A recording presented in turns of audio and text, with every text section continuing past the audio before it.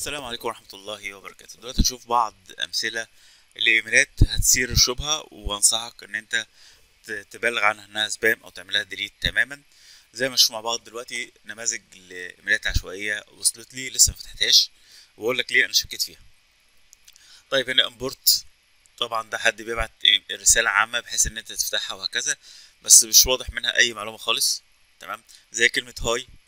طيب خلينا نفتح import دي. بص أول حاجة تبص عليها الإيميل.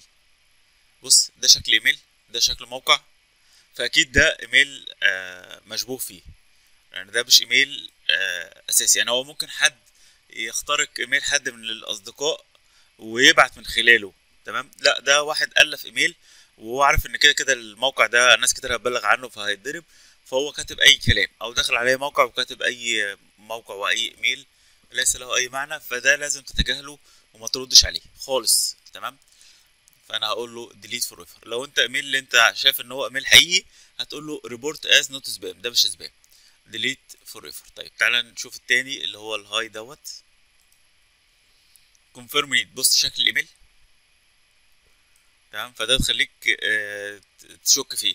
بيقول لك unsubscribe أنا مش فاكر مليون في المية إن أنا شاركت في أي موقع بالشكل دوت. تمام؟ فهتقول له إيه؟ delete forever ويبلغ عنه إن هو ده آه، spam على أساس إن هم يسجلوا في الحاجات ال- اللي المفروض إن أنت بتعملش معاها بعد كده. طيب خلينا نشوف الإيميل دوت. هو بص الإيميل ده ممكن. تمام؟ بس آه، خلي بالك هنا I need your help. في حد بيبعت إيميل يقول لك I need your help وخلاص؟ هو منتظر إن أنا أقول له reply وأقول له تحت أمرك عايز إيه وبتاع. وناس كتير بتقع في الفخ دوت. تمام؟ بس واضح جدا إن إن هو ده سبام تمام؟ خلي عندك بارانويا كده. كل إيميل تشوفه تشك فيه. تمام؟ طبعا بيبقى فيه إيميلات إيه إن أنت هتكسب مليون دولار والحاجات دي كلها أهي. Win one uh, uh, thousand uh, جنيه استرليني وبتاع. كل الكلام. بص بص شكل الايميل